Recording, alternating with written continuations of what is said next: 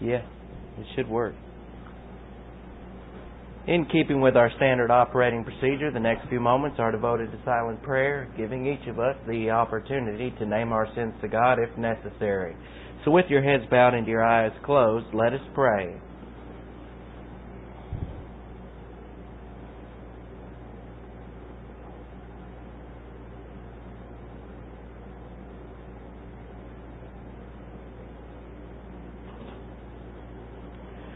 Father, we thank you for the wonderful privilege and opportunity to assemble ourselves together for the purpose of learning the Word of God. May God, the Holy Spirit, enlighten us concerning these things and give us the concentration necessary to assemble this portion of the Word into our souls. In Christ's name we ask it. Amen.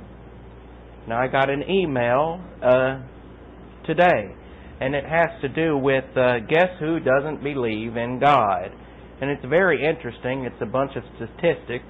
I don't know how accurate they are, but uh, it starts out like this Guess who doesn't believe in God? And then it says 10% of Protestants, 21% of Roman Catholics, and 50% or 52% of Jews do not believe in God. And then it goes on to say that's the surprising word from a new survey by Harris Interactive of 2,306. That's uh, adults that shows belief in God varies quite widely among different segments of the American public. How often do we go to a place of worship? Not much. Most people attend a religious service less than once a month. Still, Americans are far more likely to believe in God and to attend religious services than uh, the people in the other developed countries, particularly in Europe, of course. Europe's degenerate and we're a client nation. So who believes in God? While 79% of Americans believe there is a God, only 66% are absolutely certain of it. 9% do not believe in God and 12% aren't sure.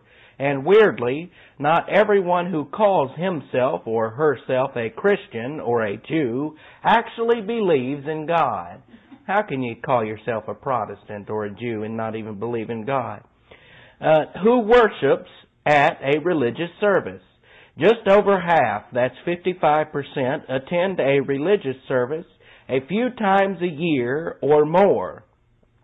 36% attend once a month or more often, and just 26% say they attend every week. So, why are the ranks so thin? Well, it's obvious. That I mean, when you get to 26%, can't even go to church once a Sunday. I mean, well, it's uh, we're the weird people, I guess, the ones who uh, really care and want to come every day. And so we have 26% say they attend every week, 41% of women and 31% of men attend once a month or more. Protestants are 47% and they are more likely to go to church once a month or more often than Roman Catholics and the Roman Catholics go to church 35%, not that they're getting anything out of it anyway. Jews are least likely to go, with 16% saying that they go to a synagogue once a month or more. but they're not saved anyway, so what's the point? Church attendance is highest in the Midwest and lowest in the West. That would be California, Oregon, Washington, Hawaii, those places and that's where church attendance is lowest. Highest in the Midwest, that's called flyover country. And now we have belief in God by geography and age. 82% of Midwesterners and Southerners believe in God. So we're in the higher part of it. Compared with 75% in the East and West, that would include the Northeast and the West, where the San Francisco, all of that, we understand that. So our beliefs get stronger as we age. Of those 25 to 29 years old, 71% believe in God. That number jumps to 80% for those over the age of 40 and hits 83% for those 65 and over. And that's natural. They're getting up, up in age and they know they're about to die, so they uh, try to come around to some type of belief. But remember, belief in God does not mean salvation. It's belief in Jesus Christ. There are other fascinating facts about who believes in God. 84% of women believe in God. Not Jesus Christ, it's just talking about God, and, and that could be Allah or anything else to some people. 84% of women believe in God compared to 73% of men. Now here's uh, something that's interesting. 91% of African Americans believe in God. 91%. So you should uh, take your racism, if you ever have any, and throw it right out the window. Because we have 91% of African Americans believing in God. Doesn't mean they're saved, but uh, I know a lot of African Americans, and while they do get involved in a lot of emotionalism, a lot of them are saved. A lot of them know that Jesus Christ is their Savior. And in fact, percentage wise, I would go ahead and guess that percentage wise, there are more African Americans in this country saved than white people. And this poll uh, suggests the same thing because 91% of African Americans believe in God. 81% of Hispanics believe in God and 78% of whites believe in God. So, uh, racism, there's really no point uh, for it, especially for white. We're in the uh, 78% category, while they're in the 91% category. 87% of Republicans believe in God, compared with uh, 78% of Democrats. And then 75% of independents believe in God. 82% of those with no college education believe in God, while 73% of those with a college education believes in God. So, so much for a college education. Doesn't mean anything compared to eternity. But of course, uh, I want to preface this by saying that if you believe in God doesn't mean you're saved. Lots of Jews believe in God. Lots of people believe in God, but it has to do with faith alone in Christ alone, and that brings salvation. And I thought that was interesting, and I thought I would bring that uh, to you today since we're dealing with the fact that Jesus Christ has been uh, trying to give the gospel to a bunch of religious people, and they've said no, no, no. And uh, they've ridiculed him for giving the gospel. And uh, in fact, in uh, turning your Bibles to Matthew chapter 15, verse 12, we went over this briefly, and we'll go over it again, and then we'll move on. Now, in 1512, uh, we have the fact that our Lord, uh, previous to this, had really chewed out the religious crowd. He really insulted them, offended them, and but they were trying to insult and offend him first. Remember, uh, they came up and said, "Why don't your disciples wash their hands?" Really made a big issue out of it. And then our Lord said, "Well, why don't you follow the fifth commandment? Honor your father and mother, respect your father and mother." But instead you have found a loophole in which you can uh, reject your father and mother and uh, let them rot to death without your help. And uh, it really stepped on their toes because it was true. And when truth hits, it really uh, burns people's hides. And uh, Matthew tends to do that with anyone, and especially here, because even the disciples get a little disturbed and remember, the disciples are the students of the Lord Jesus Christ, and right now they're a bit disturbed. And they're wondering what our Lord's doing. And why are you ripping these people apart so much? You'll never win anybody over if you keep uh, harping on them like that. So then the disciples, students, came to him and said, Did you know that the Pharisees were offended by this? So even his own students at this point got mad at him. And after seeing all the miracles, well, they saw them, but uh, to them it was like, so what? Because they had been buddy buddy with some of these Pharisees. And they uh, talked to the Pharisees before the message and said, hey, let's go listen to this Jesus Christ. He's a good uh, preacher, and you need to listen to him. He's got a message. And they started out all right. But they were buddy buddy with them. That's how they got them to go to the church, as it were, or in this case, the synagogue. Uh, but what happened was they got them all there and they were buddy buddy, and then the Lord just ripped them apart. just looked right in their eyeballs and said, uh, "You're you are disgusting people," basically, and that's what he told them. And he says, "You need to have a savior. I'm your savior," and uh, they all rejected it. And so the disciples were a bit upset and embarrassed by all this. So they came up to the Lord and said, Did you know that the Pharisees were offended by this? And we have to know what Pharisee is all about. Pharisees are the people who never get criticized. They're the people who have a title beside their name, and no one has ever criticized a Pharisee up until now. I mean, you don't criticize a Pharisee. These people have studied the Word of God, and they did study the Word of God as unbelievers, and you can do that academically. And they studied all the Old Testament Scriptures, and some of them had memorized all the Old Testament Scriptures. They were experts in the law, definitely experts. And uh, they deserve that title because they did spend all their lives studying the Mosaic Law. But suddenly they're insulted it would be like uh, insulting a professor who has uh, taken all his time to study history, and then you come along as a student and uh, look at that professor and you tell him how it is, and that professor gets upset and takes points off your grade. It happens. And the same thing occurred here. Uh, Jesus Christ, who had no formal education as they had, came along and told them like it was. They didn't like it at all. And uh, the disciples got flack for it. And they uh, were standing around the Pharisees, and they probably came up and said, What are you doing hanging around this man?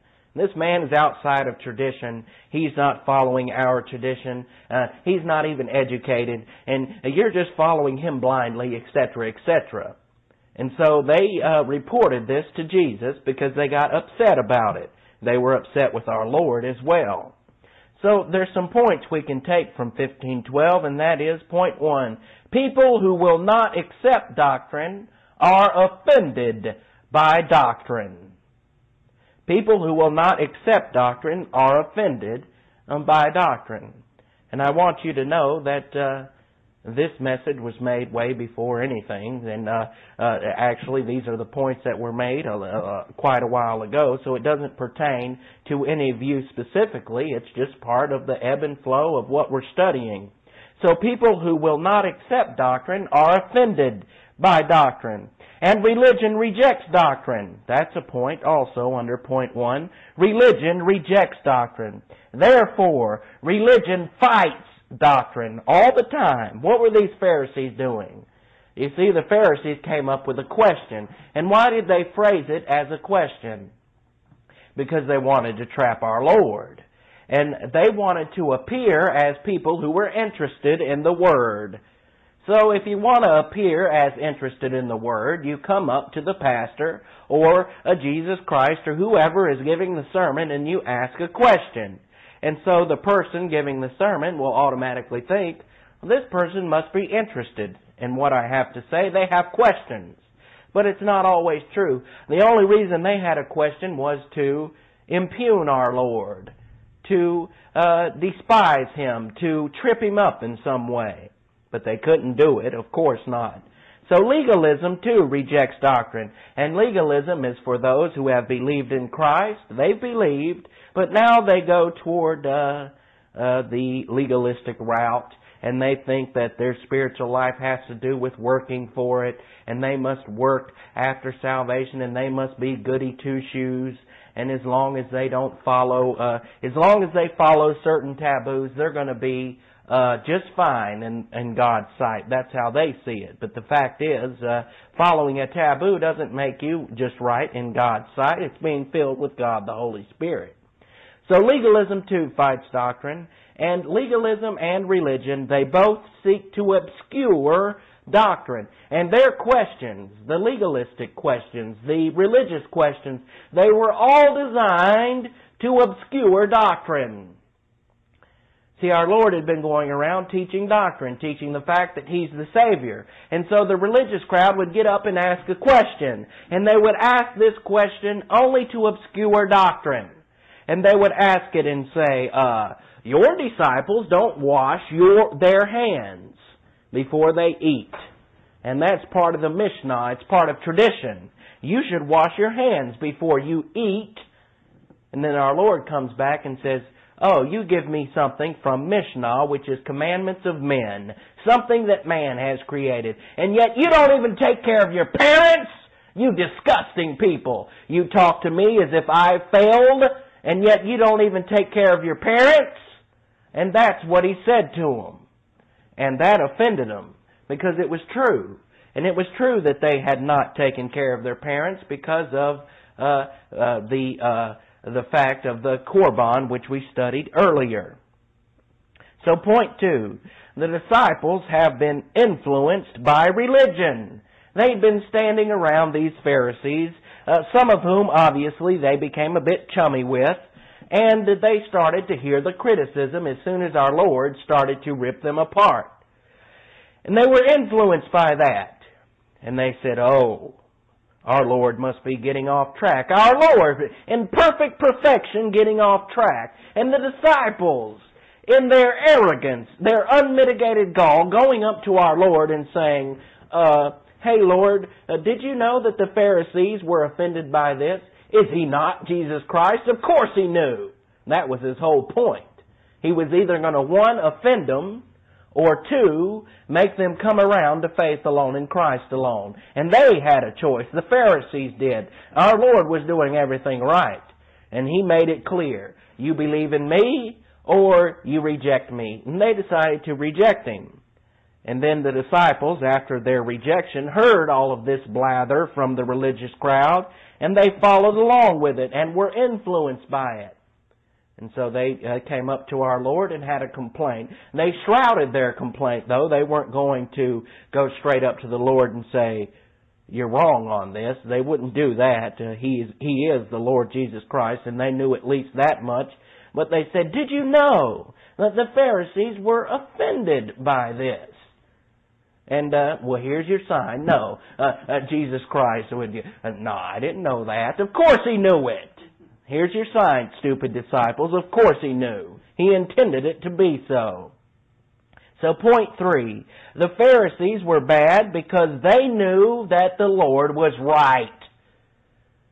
They weren't mad because uh, of the do- they weren't mad they were mad because of the doctrine actually because the doctrine was right. But uh, they weren't mad really at the personality of our Lord. Our Lord was perfect and his personality was as compassionate, more compassionate than anyone on the face of the earth. I mean, how could anyone uh, die on the cross as a substitute for us without having compassion? This man, our Lord Jesus Christ, was compassionate.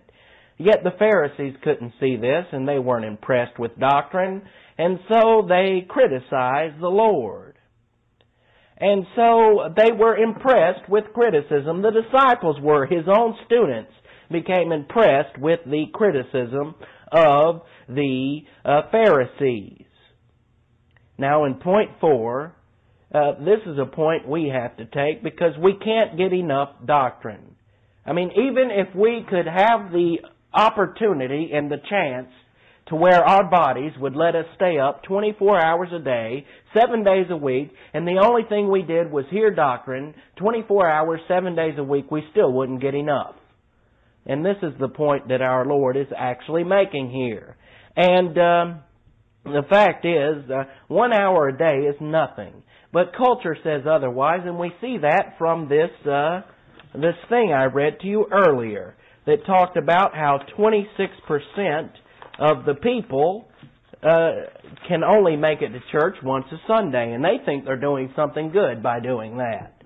And the fact is, when you get down to the brass tacks of it, most people uh, don't care for doctrine. That's the brass tacks of it. It's always been that way. It's that way today.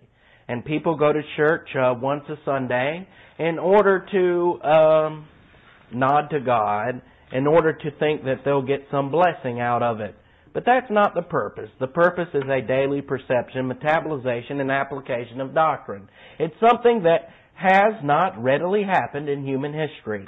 And it did happen during the time of the Apostle Paul, and that's where we get Ephesus, the great pivot of the Roman Empire. What allowed the Roman Empire to last until 4 uh, 96 AD.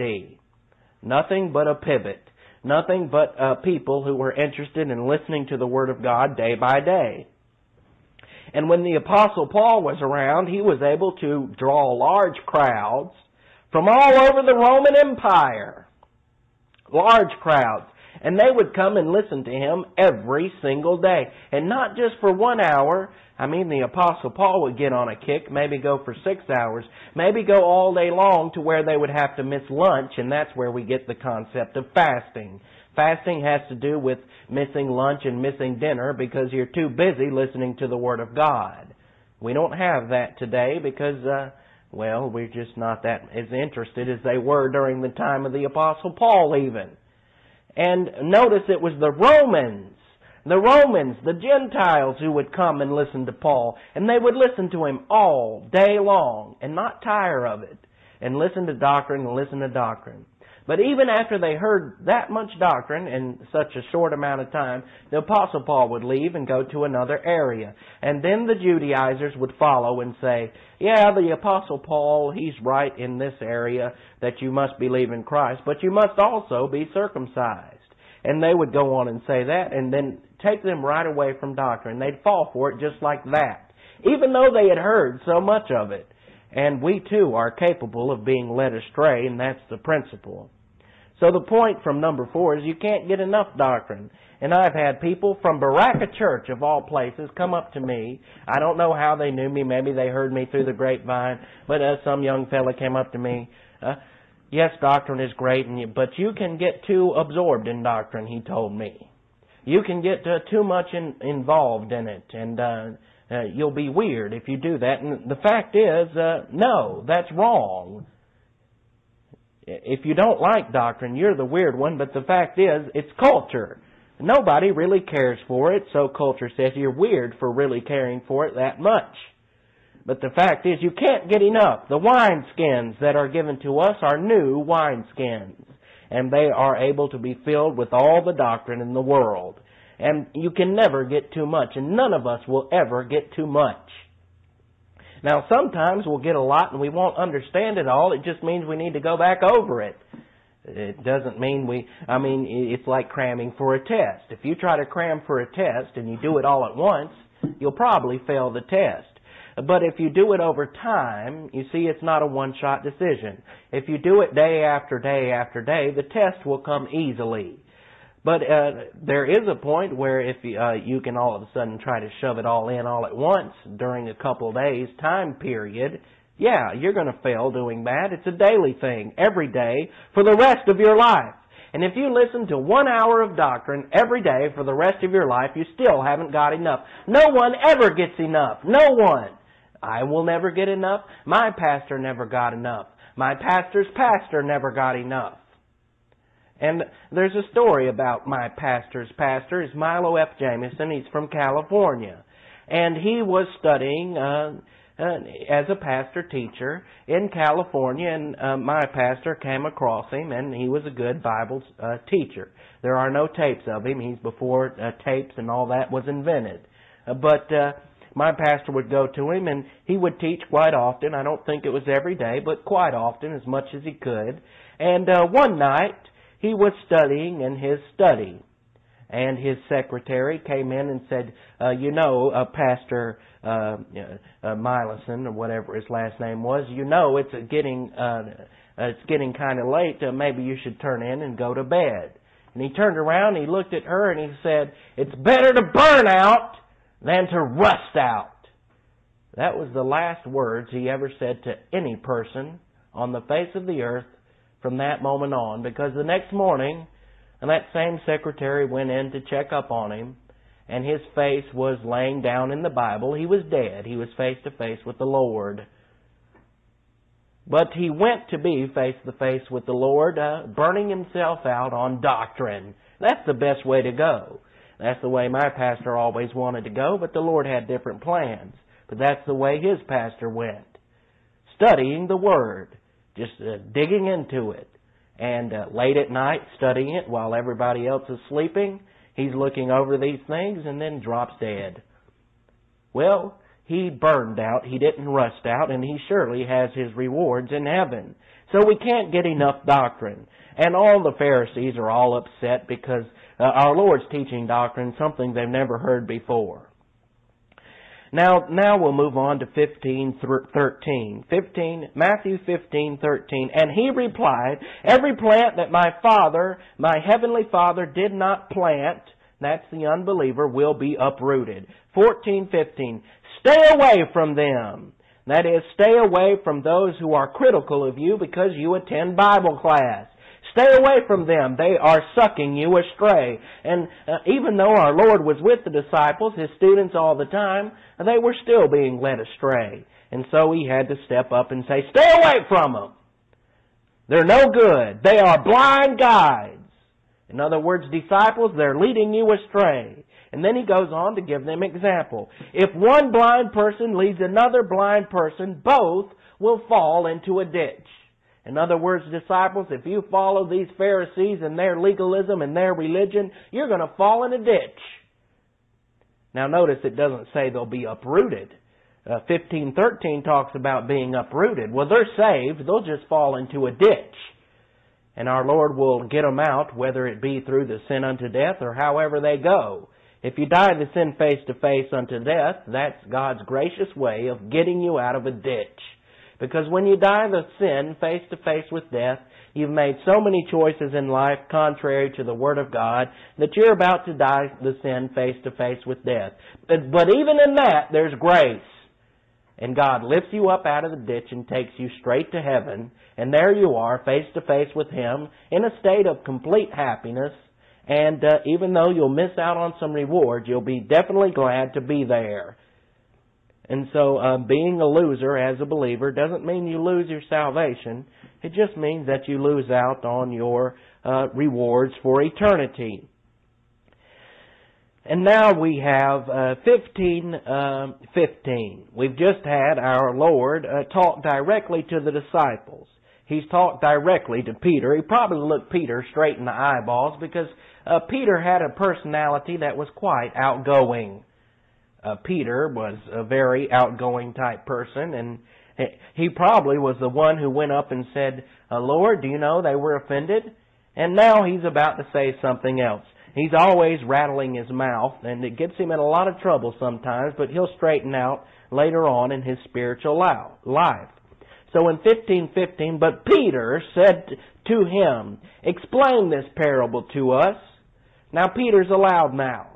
And what he has to say isn't so bad. It's just indicating that he's so, he's so embarrassed by our Lord. Uh, you see, he chewed out the Pharisees. Now he's chewing out the disciples.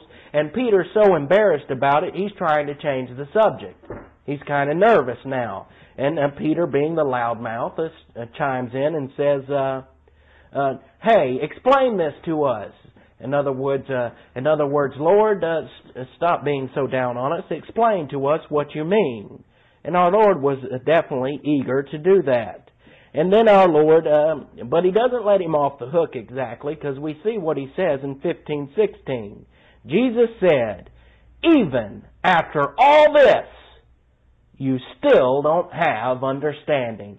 After all this refers to the time when Jesus was out there on the Sea of Galilee and a storm came up and he was asleep and he calmed the sea and yet Peter still didn't have enough faith to trust in the Lord. Still didn't have enough faith to trust in his ministry to the uh, Pharisees. He's saying, oh, you're all out of line. And then our Lord says, uh, you still don't understand after all this? After you saw me calm the seas, he doesn't say this specifically, but after all this indicates that uh, Peter should have remembered these things. He should have remembered the feeding of the 5,000. He should have remembered all the miracles. Peter and the disciples have seen much more than we will ever see in terms of miracles. They saw the healing of person after person. Thousands of people were healed before the very eyes of Peter. He saw storms calmed by the very work of Jesus Christ, and not just one, but we've had two. And Peter himself has walked on water. Imagine yourself walking on water.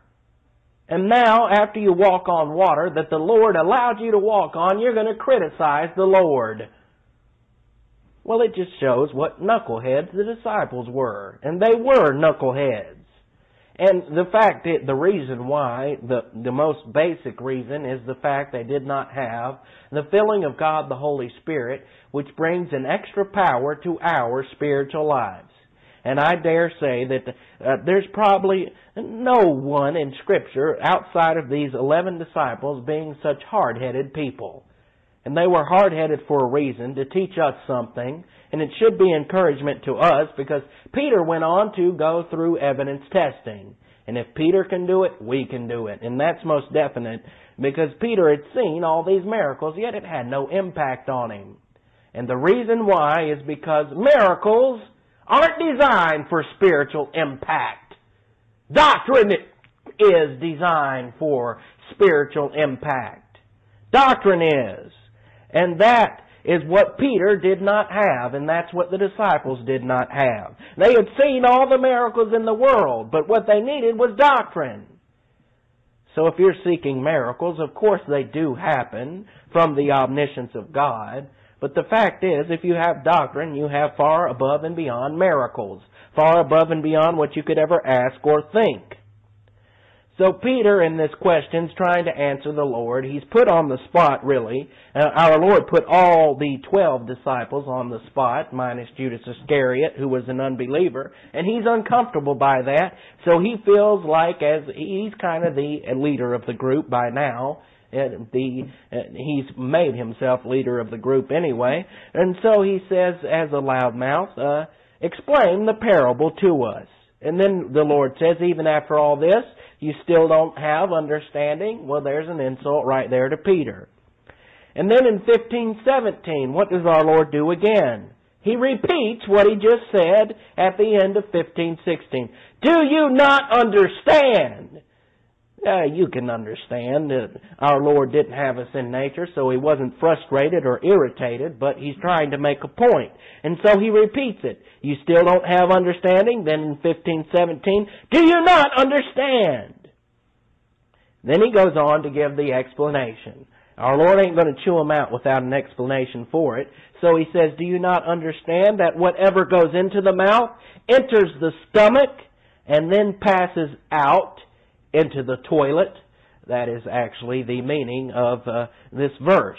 Do you not understand that whatever goes into the mouth enters the stomach and then passes out into the toilet? And he's trying to describe to them uh, what he's doing. He's bringing their focus back on the uh, the Pharisees' argument. The Pharisees' argument was, "How can you be so great when your disciples don't wash their hands?" And our Lord brings it right back and says, Don't you understand that whatever you put in your mouth goes into your stomach and comes out into a toilet? And I could be crude about it, but I won't be, but that's what our Lord's saying. This stuff is insignificant. Then he goes on to say in 1518, But the things that come out of the mouth come from the frontal lobe, the stream of consciousness, and these things defile a person. That is what you think defiles you. If you think in terms of gossip, maligning, and judging, if you think in terms of mental attitude sins, that defiles you because it'll come out of your mouth eventually. 1519. For out of the frontal lobe, the stream of consciousness, comes evil thought. Notice there's thought there, and what you think is what you are. Evil thought. Murders. You can have murderous thoughts. You may never commit murder, uh, overtly, but you can have murderous thoughts, and all of us have. And adulteries, and fornications, thefts, blasphemies, and slander. All of these things originate from thought and eventuate in coming out of the mouth. And then if you go so far as to murder, it's actually overt. Those are the three categories that our Lord covers. Then in 1520, these are the things that defile a person. Not eating with unwashed hands that defiles a person. So he makes it clear. And they're upset because the Pharisees are upset at them and uh, they want an answer about it. So the Lord gives them an answer and says, look, they're upset about nothing. They're upset because uh, you eat with unwashed hands. Well, that doesn't defile you. It's eventually going to come out into a toilet. What defiles a person is what these Pharisees are doing. What defiles a person is gossip, maligning, and judging. What defiles a person is all these mental attitude sins. And the Pharisees never thought about mental attitude sins. Their focus was always on the overt, the superficial. The Pharisees were superficial people. And superficial people have a hard time with doctrine, always. Because when you're superficial and you always have your focus on, well, I've noticed uh, some people, uh, not around here, not uh, making fun of anyone around here, but I've noticed people when I went to high school make fun of other people and how they dress. That's superficial. Superficiality. And that's ridiculous. No one should ever make fun of anyone else and how they dress. And I was around these people, and I always uh, shunned them. And I always made it clear to tell them, I'm not impressed with your uh, degrading of other people. And they would degrade someone for not being so smart. Maybe they had a mental handicap. They would make fun of them. Well, children are cruel that way, and so are adults who don't have doctrine. They're still acting as children. And it always irritated me to see people make fun of other people. And that's what the person who is superficial does. If you have doctrine, that making fun of people goes out the window. You don't make fun of people anymore. You don't call people redneck and you don't call people the N word. And you get away from all that. And that comes from Bible doctrine. But they didn't have it, so they were used to all this superficial attitude. Now we move on to 1521, and this deals with the faith of the Canaanite woman. And this woman is a Syro-Phoenician woman. Syro-Phoenician, uh, that's spelled S-Y-R-O-P-H-E-O-N-I-C-I-A-N.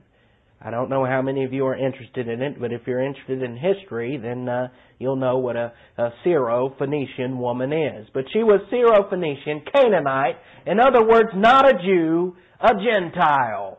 This woman is a Gentile, a Gentile woman. Then in 1521 we have something interesting. After going out of that place, Jesus went into the region of Tyre and Sidon. Why? Tyre and Sidon are Gentile regions. And we're going to notice something very interesting about our Lord and how He presents things because He's talking about He walks through Tyre and Sidon. He went through them. He didn't preach there. There's no indication he preached there at all at this point. He just walks through Tyre and Sidon. And his disciples, his students, are there with him, and they're all walking through Tyre and Sidon. Why are they doing that? We'll find out why. Now, Tyre and Sidon are two cities of Phoenicia, and they have been rebuilt at this point, and they've resumed their sea trade. The Phoenician Empire before this time was great. It was a great sea uh, trade, and they had a lot of uh, uh, navigators and all of that who uh, manned great ships, and they uh, uh, traversed and traded, and they were a very wealthy capitalist country. Phoenicia was capitalist, and by the, they had went under during Rome, but at this time these two cities came back together, were rebuilt, and now they're resuming their sea trade. Now, one thing we need to know about this I know that you were taught in school that Columbus was the first person to discover America. That's not true. The Phoenicians were here way before Columbus was. All that's documented in history. Why they don't teach it in school now, I don't know. I guess they're stuck to tradition. But it's been found by archaeologists that uh, the Phoenician Empire, long before Columbus, had actually uh, landed in places like Maryland. And at this point, it was the Carthaginians. They were known as the Carthaginians. Also, the Scandinavians, right after them, came to America, way before Columbus. And when you think about it, even before all that, the Indians were here. Where the Indians come from? They came across the isthmus in Alaska. And what does that indicate? Well, there's no isthmus now. An isthmus is a piece of land surrounded by water, a, a small narrow piece of land. And at one point there was a small narrow piece of land between Russia and Alaska. And that's where the Indians came from, and that's why they look Oriental. That's why if you look at a Mexican, and they're mixed, of course, European, and they're mixed uh, with the Indian and the Asian type race, uh, they have a tendency to look a bit Oriental if you really study them close enough.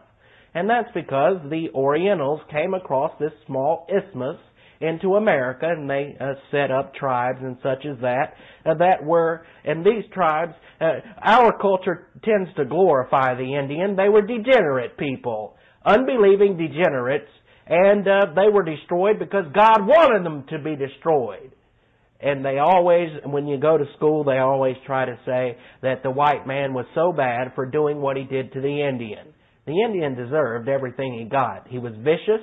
He had child sacrifice. They were a vicious people. There was nothing kind about them. They were degenerate. And uh, so we had these people come over even long before uh, Columbus was here. Uh, but uh, even then, we had Phoenicians here as well and they just looked at they didn't settle here they just uh, took a look at it and went on because at this point the carthaginians were being overrun by the romans. And so they decided that uh, uh, they needed to get back to their own empire. They needed to come back to africa to fight for the motherland and uh, stop being over here in uh, what is now america. And so that stopped all of that but if that had not have happened, um, it's fair to say the Carthaginians would be the first to settle America. So why did Jesus go to Tyre and Sidon at this point? Gentile regions. He didn't preach there, so what was he doing? Well, he knew something that the disciples didn't know. He knew that there would be a Gentile woman who was there who needed help. And he knew there was a Gentile woman there who knew enough, who knew enough doctrine to use the faith rest drill. So in 1522, as a result of this, a Canaanite woman, this Canaanite woman is a Gentile. A Canaanite woman from the area came and kept yelling out. She kept on doing it. It wasn't a one-time thing. She kept yelling out over and over again because our Lord at this point was ignoring her. He was ignoring her for a reason. It wasn't out of cruelty. We'll see why. And she kept saying, Have mercy on me, Lord. When she said Lord, that means she recognized the deity of Christ. Therefore, we can assume very naturally that she was already saved because she used the vocative Lord, which recognizes the deity of Christ. Which, by the way, Judas Iscariot never in all of his lifetime ever used the vocative Lord. He always said Rabbi, Rabbi, Rabbi. Never said Lord. Yet this Gentile woman, this Canaanite woman who had always been uh, generally the enemy of the Jew as per a race, comes up and looks at Christ and says, Lord! Something that not even Judas Iscariot had ever come to do. And so this indicates her faith alone in Christ alone as per 1 Corinthians 12:3 because 1 Corinthians chapter 12 verse 3 says this, no one can call Jesus God apart from the ministry of God the Holy Spirit. And by calling him Lord, she was calling him God, recognizing his deity. So she was saved. And this indicates she was saved. In fact, this woman actually recognizes Jesus Christ in hypostatic union. She understands the hypostatic union. A Gentile woman. Now the disciples, uh, the reason why our Lord let this continue is because the disciples needed to be taught a lesson. And, but the, they didn't learn anything from it because apparently this Gentile woman knew a lot more doctrine than even the disciples who had been with our Lord uh, going on a year or two by now. And throughout the whole thing, they'll be with our Lord three years, and then finally, finally after his death, they'll catch on. But this woman has more faith than they do. That's why our Lord lets her continue. That's why he's just dragging her along. And he's, he's trying to look at the reaction of the disciples. You know, our Lord could have uh, answered her request in a second. He knew he could. But he's dragging them along and he's saying, I want to see what, how the disciples are going to react to all this. How have they been growing up? What they should have done is looked at this uh, woman, this Canaanite woman, this Gentile, whom they despised. There was a lot of racial tension back then, and we don't have it as much today, but there's still racial tension between blacks and whites, etc. And uh, it would be as if uh, the the race that you think lowly upon is following you and screaming out to you for help. And the disciples just have no clue what to do with this. But uh, what's interesting is she understands the hypostatic union. We know this because she says, "Have mercy on me, Lord." That's deity. Son of David. That's humanity. And she recognized our Lord as the, the King of the Jews. A Gentile, recognizing the Lord as the King of the Jews in His humanity and as God in His deity. Phenomenal. She knew more doctrine than the disciples did. Absolutely a phenomenal woman. A Gentile woman. But our Lord just strings her along uh, not in order to teach her a lesson, although he will uh, actually uh, test her in some way in a moment, but uh, the lesson will be for both of them. She'll pass the test. His disciples are going to fail miserably. It's really a sad commentary on these nitwits. But they will come around, and that should be encouragement because all of us are nitwits in our life, and all of us must come around to doctrine if we want to grow in grace and in knowledge. So in 1523, and by the way, I left this part out where it says a, a Canaanite, a Gentile woman from that area came out and kept yelling out. This is in the imperative mood. She wasn't just yelling, she was demanding. She was demanding our Lord. She was saying, Lord, help me. Now she had a privilege to do that because she was a believer. We too have the privilege to do those things. And we get that from the faith rest drill, which was something she was using. She was using the faith rest drill. She recognized him as Lord and as Son of David, and she also was using the faith rest drill, something the disciples never used. Peter all used it for a little bit, for a, a couple minutes, when he jumped off the boat and walked on the water. And then he got distracted and fell in the water. But this woman was using it constantly. And this was something that should have shocked the disciples, but it didn't because of their self-righteousness and them thinking they were racially superior. Then in 1523, while our Lord is being demanded of this by this woman, but he did not answer her a word. That's the Lord saying this in 1523. Is that right? Matthew 15:23, but he did not answer her a word.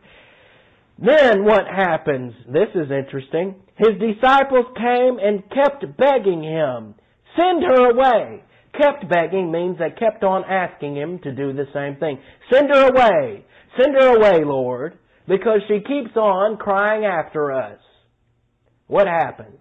The disciples got irritated. The last, well, first of all, they got their eyes on the other people watching the whole spect- spectacle. Here is Jesus and the disciples walking along, and here's a woman walking up behind them, a Gentile woman.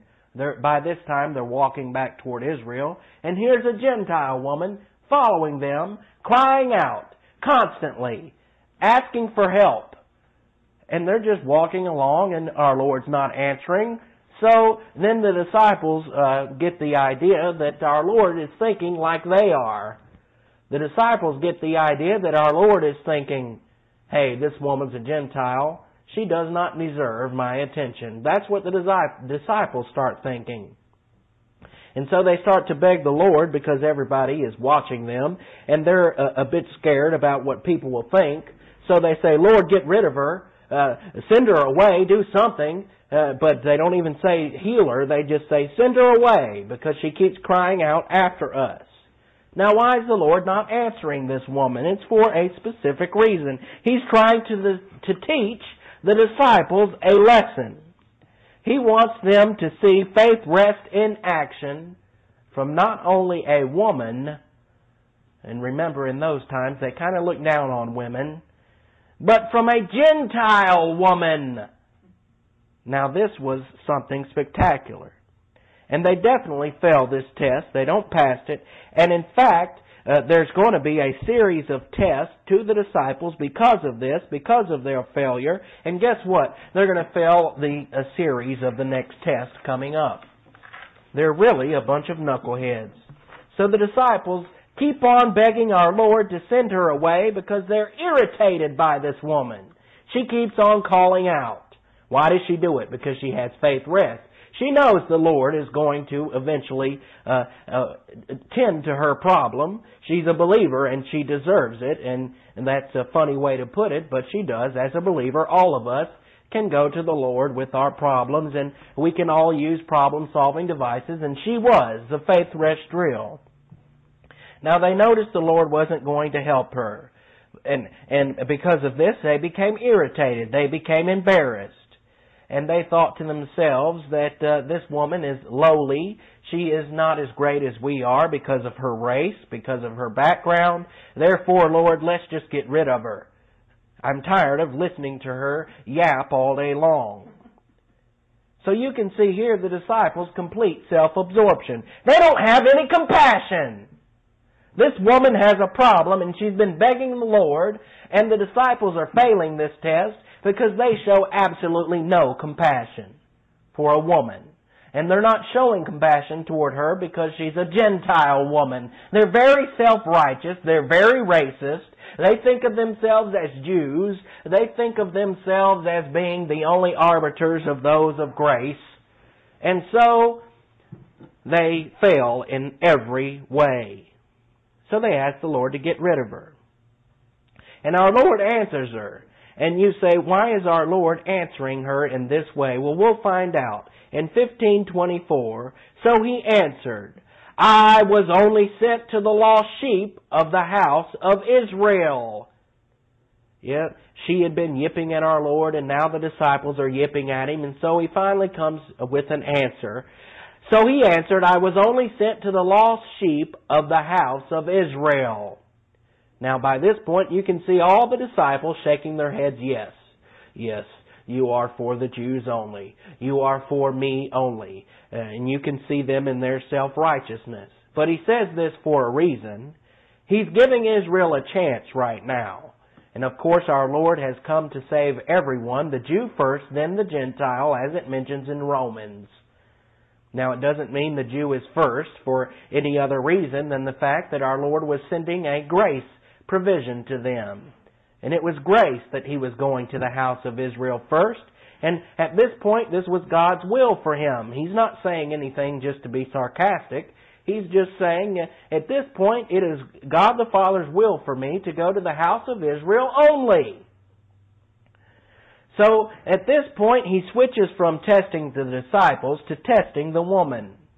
Because the woman is in a helpless situation, and she's looking to the Lord for help, and then the Lord uh, deals her a blow and says, I was only sent to the lost sheep of the house of Israel. He knew what he was saying, and he knew that he would eventually heal her, but he's actually putting her in a more helpless situation. Not that he, he knew she would pass the test, he was doing this to demonstrate something to the disciples to demonstrate even though things got even more helpless for this woman, she's going to have more faith than any of these disciples, his own students, ever had. And it's going to be a condemnation of them, not of her. So the, do the disciples have a relaxed mental attitude? Absolutely not. They're irritated with this woman. And this, and what our Lord says is, you do not qualify because uh, first of all, you're not lost. You're saved, lady. You've believed in me. And I've come to the lost uh, sheep of the house of Israel. You're not a lost sheep. You're saved, and you're not of the house of Israel. So there's two points against her. She's not qualified to be healed, in other words. And then in 1525, but she came and bowed down before him and said, Lord, help me. She wasn't going to give up. She knew that the Lord Jesus Christ was the answer, and He just gave her a point of doctrine, which is true. Our Lord came at that point as only being sent to the lost sheep of the house of Israel. That was His purpose. And He gives her a point of doctrine. And she understands this point of doctrine. She understands it full well. In fact, she understands it better than the disciples do. She is far ahead of the disciples. And she knows that Christ is her Savior. And she knows that she has a right to go to Christ uh, because she has a problem. So what does she do?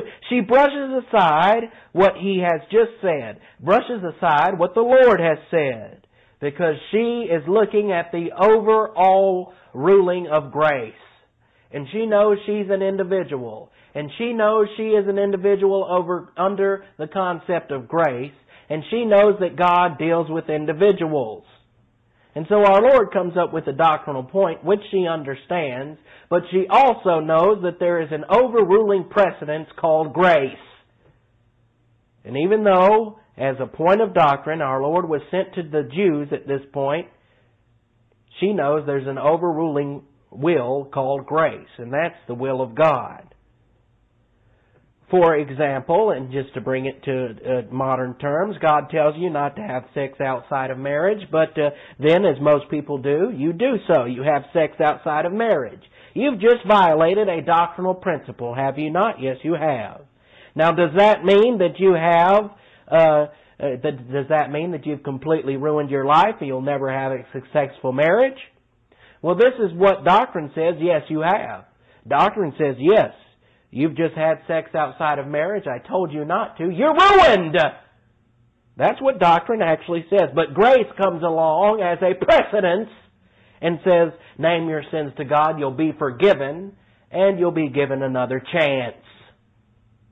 So grace precedes doctrine. That's why it says, grow in grace and in the knowledge of our Lord and Savior, Jesus Christ. Why does it say that? Grace precedes knowledge. Now you have to have a knowledge of grace, of course. But if you go the route of doctrine only without developing grace orientation, uh, you're going to be miserable because you're going to want to shove everything down everybody's throat. And somebody's going to commit a sin and you're going to be shocked by it and you're going to tell them how they're going to be a failure for the rest of their lives because they've sinned. Well, so what? There's grace too, which follows as a precedence. Name your sins to God, you'll be forgiven. This woman understood grace, the disciples did not. The disciples were very self-righteous. And they said to themselves, this woman will, uh, she doesn't deserve our Lord's healing because she's a Gentile, and we're Jews and we're better than her. They were very self-righteous. And our Lord was testing them, and our Lord is testing her. And she passes the test, which is what the disciples should have noticed. But, they fail it completely. So in 1526, he said, Is it not right? It is not right, in other words, it is not right to take the children's bread and throw it to the dogs. Now, who are dogs? Gentiles were always referred to as dogs. And in fact, what our Lord is doing is referring to this woman as a dog not intentionally, not purposely to hurt her feelings or anything like that. He's doing this for the sake of the disciples. Because the disciples were looking at her as a dog. The disciples had a great deal of racial superiority complex on their side. And they were saying, this woman's a Gentile, I'm a Jew, our Lord shouldn't mess with her. He's only, go- he's only going to mess with Israel as he has said. But you'll see our Lord's about to switch in order to teach a lesson to the disciples. All of this was really designed for the disciples. The woman had enough faith rest. She knew that the Lord was going to help her with her problem. And the Gentiles were first called dogs in Psalm chapter 22. And believe me, it's not uh, a complimentary title. We have dogs as our best friend, but back then it was not a complimentary title. Now in 1527, she said, Truth, Lord! In other words, your doctrine is correct, Lord. But even, now she's going to give a point of doctrine to our Lord. Not that he didn't know the point of doctrine, he most definitely did. He arranged it so that she would be giving doctrine the disciples didn't even know. A Gentile woman knowing doctrine the disciples didn't know. They should have been ashamed of themselves, but they weren't. They still felt kind of high and mighty and self-righteous. They'll get out of it over time. And our Lord was trying to be shocking, but they were such knuckleheads, they still didn't get the message. So the woman says, Truth, Lord, that's correct doctrine. But uh, she's about to give a superseding doctrine.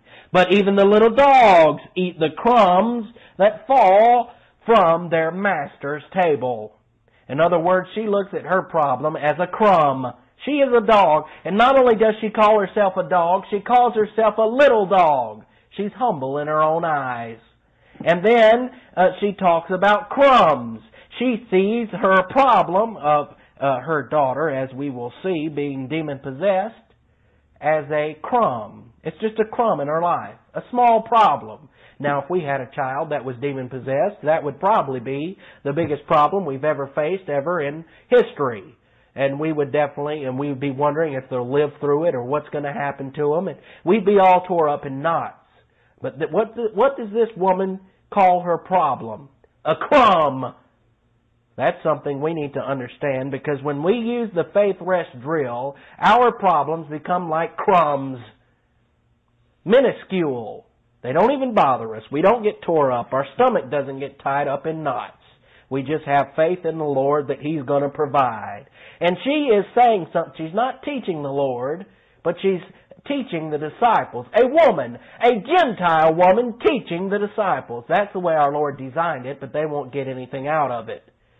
And what she says is, look, I understand this point of doctrine, Lord, that you came to Israel. I know that you are the king of Israel, and that is a correct doctrine. But guess what? Even, even us Gentiles, even us little dogs, eat from the crumbs from your grace. And our Lord says this to her. Then Jesus answered her, Woman, your faith is great.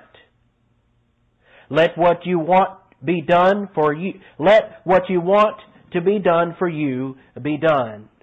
And the daughter was healed right then. So what we see here is a compliment from our Lord. He had been testing her along with the disciples. She passed the test. And once she passed the test with that phrase that even the dogs eat the crumbs, our Lord compliments her for passing the test. And he says, Woman, your faith is great. And notice he points her out as a woman. All the disciples thought of themselves highly because they were men, and not just men, they were Jewish men. Big deal is what our Lord is saying, because he says, Woman, your faith is great. Now, how many times have the disciples been told that their faith has been great? Ever since our Lord's been with them? Not once. What did our Lord tell the disciples? O you of a little faith. How many times did he say it? Over and over again. It's recorded over and over again, but we don't even have how many times our Lord looked at them and insulted them and said, Oh, you of a little faith. And that's all he'd ever told them. Every time they would come across a problem, he'd look at them, look straight in their eyeballs and say, Oh, you have a little faith. But then this woman comes along, she does one thing. And she shows she has an understanding of grace and the faith rest drill. And what does he say to this woman? Woman, your faith is great! The disciples should have uh, woke up by then, but they didn't. They should have thought to themselves, our Lord's never complimented me. In fact, if anything, they should have been a little insulted, but they weren't. They were too knuckleheads to even be insulted. And uh, so he goes, Woman, your faith is great. But he had never told the disciples their faith was great. So th- they should have scratched their head and said, What am I doing wrong? But instead they went on in their self-righteousness. Now by the grace of God they straighten out later, and that's an encouragement to us. But these disciples, from everything we've been studying, are real stupid especially especially when you have a woman, a Gentile woman, outdoing them in every way.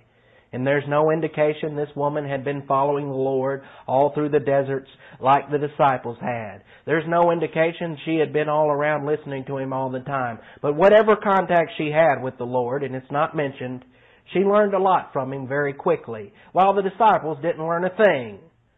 So she received the compliment the disciples never received. Woman, your faith is great. we, we too should uh, desire that compliment, and the only way that we'll receive compliments is if we grow in grace and in knowledge and execute this unique spiritual life.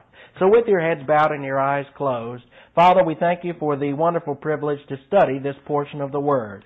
May we come to understand the importance of the faith rest drill. May we come to understand the importance of grace in our lives. And may we grow in grace and in knowledge so that we can glorify you, so that when we enter through those pearly gates, we can hear that most beautiful phrase, uh, Well done, my great and faithful servant. In Christ's name we ask it. Amen.